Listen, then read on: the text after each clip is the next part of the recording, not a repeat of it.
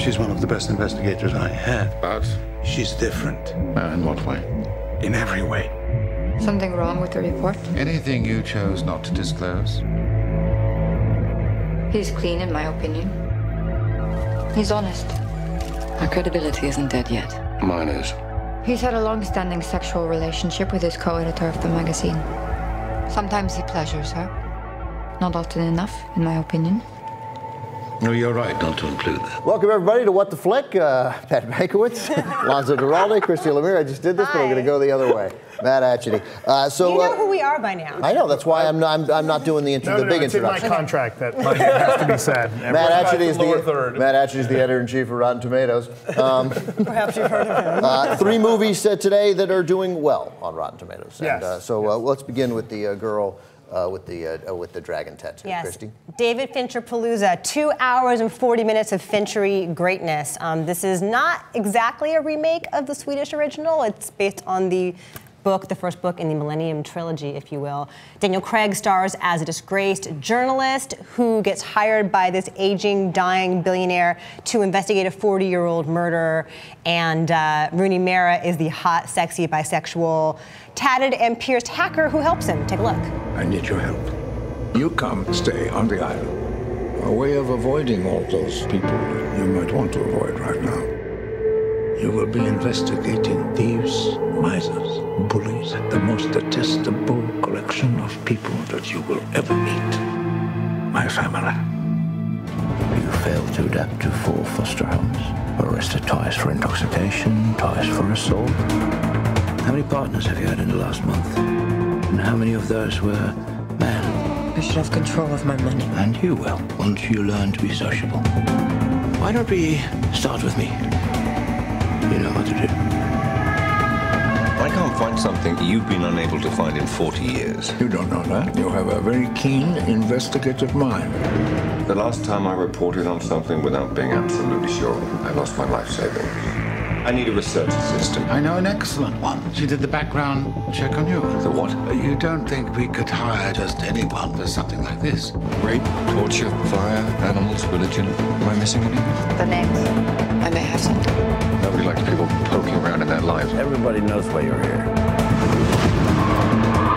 Someone killed her. Someone on the island that day.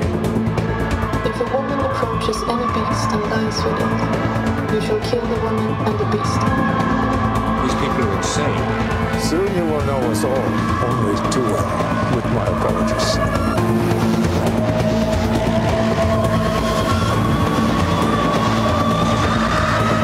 Wow, you are little. Look at that. I'm not standing on a box. Should I be? It looks like uh, it looks like uh, Matt and Alonso are standing on boxes. Hi, I have things to say too. I'm down here. By the way, by the way, as a uh, red-blooded Yes. American, let me just better say, you can do that all you want.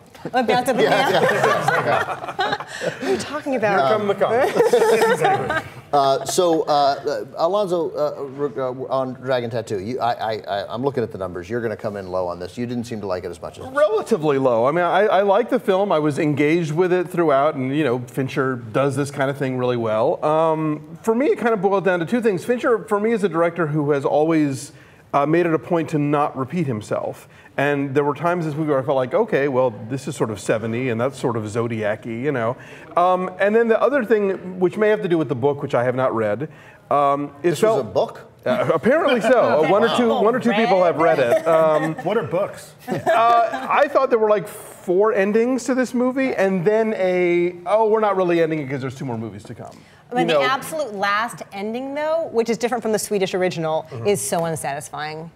Did you not- think? yeah. Okay. The, uh, the, Yeah. the, the ending of this film. The absolute found it. last shot. is the only one who saw the Swedish one, so when, I did where we were all n- newborn babies. I think it's all, I, I think it's unsatisfying unless uh, you know that there are more movies coming. And I mean, unless you're sort of already built into the the, the, the structure of the girl with dragon stuff that you know that Yeah. that's that, But it that you know There's that there's more more coming but if you see it on its own as if it's just the film that you're seeing this one time and you're not thinking about seeing the others later then I agree with you it was well, the, the last Daniel. Craig movie I saw that promised a sequel was The Golden Compass. So, mm. still waiting for No, those but- two movies. But I agree with you. The, and the, the rhythm of the ending is really weird because as opposed to a standalone movie, you get similar to what happens in The Dark Knight, where you almost get like this half fourth act, right? Where Mm-hmm. you get you get a big climax and then it kind of keeps going in a weird way. Ne- next week on The Girl Yeah, with the Dragon exactly. That's Tattoo. what, that's what ruined the uh, the Dark Knight for us. Why I did not like the Dark Knight. I mean, nearly as much as anybody else. Why I left unsatisfied. Let's put it that way.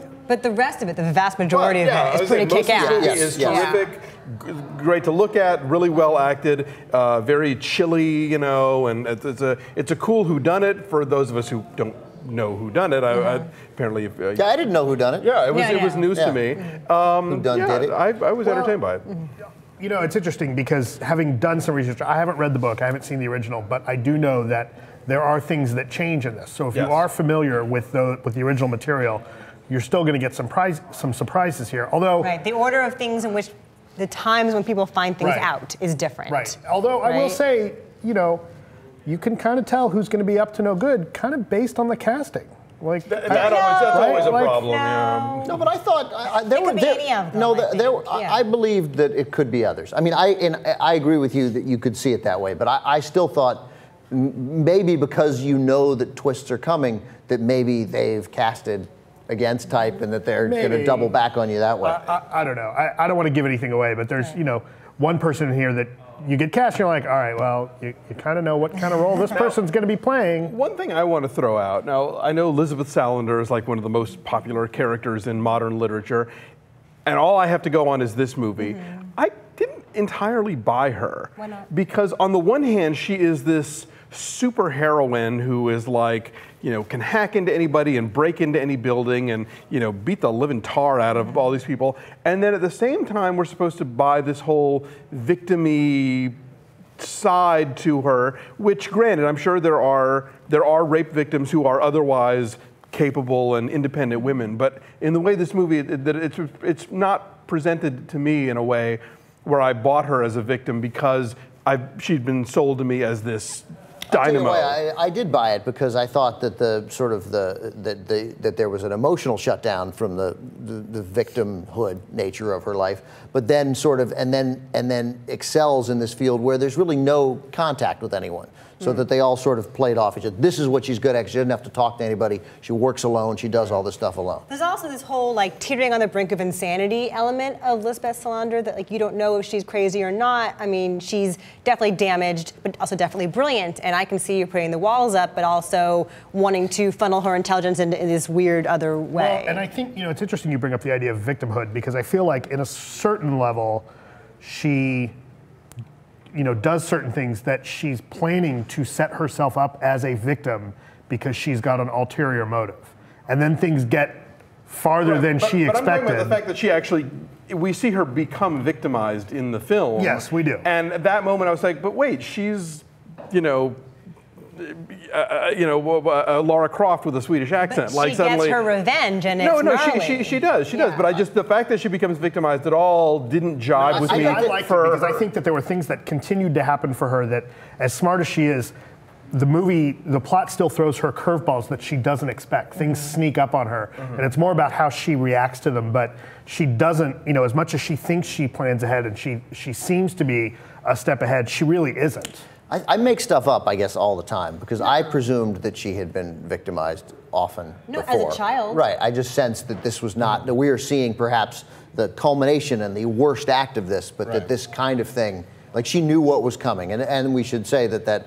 That the- I, I thought both the, the, the rape scene is really well done because it is really difficult to watch as a scene like that Mm-hmm. ought to be without being exploited. without or- being without yeah, being right. like the last house on the left where you're like hey see you know it's horrible uh, and then I thought then then and then the revenge for that uh, attack is freaking splendid Well, a lot of this is faithful to what is in the Swedish original. I mean, Fincher did not shy away from a lot of the really ugly stuff that, that happens here in terms of No, the- Elizabeth, Elizabeth's story and also the, the serial murders that are going on that, Right. that Daniel Craig is investigating. Like, he does not shy away at all. Understandably, it's Fincher, but there's also, I think, a, a very sexy kind of sultry tone and a fluidity to the storytelling that, you know, it's two hours and 40 minutes long, aside aside from the long ending, which we talked about. Like, I don't think it feels didn't- that I long. didn't It buy, moves yeah. It- it beautifully. zips by. And, and for Yeah. whatever Yes. qualms I have about, and uh, you know, whether, whether I'm nitpicking or not, uh, ultimately I did enjoy this Right. film. I, I, I'm glad I saw it. I was entertained while I was watching it. But I think with with a director like Fincher, the bar is raised where you're No. I, I see, you know, and, and having read your review, when you talk about it kind of being like Fincher's greatest hits, you're absolutely right. You know, it's, it's, he's not. He's not really breaking any new ground for himself here. Mm. You know, it, it is elements of things we've seen before. It's very effective. It really works. It's a great Yeah. marriage of material and director, but it's I think those are all that's interesting points about him not repeating himself. I just don't care. I, I, I, I think, no, but I mean, I think you are like you're great. So repeat yourself. Like I mean, man, you do something well. Keep hitting, keep hitting. Eventually, you'll you're, knock that guy the, down. you're the play taking care of business guy. Totally. It's exactly, exactly. Let's go talk about the title sequence real fast. I think Yes. we're all kind Oh, of yeah. divided on whether it's great or not. Loved it. It's rad and sexy. 'cause I'm going to explain it really, really fast. It's, it's, Um, it's divorced from the rest of the film, but it's awesome. It's not though. It kind of like sets the tone. Yeah, You've got weird sort of keyboards and gothic stuff and leather and it's The gnarly. oil and- um, yeah. It's um, Karen O does this cover of Immigrant Song Right. and, and Trent With Trent Reznor, Reznor. and it's just but like is it a this cover sexy. or is it a remix?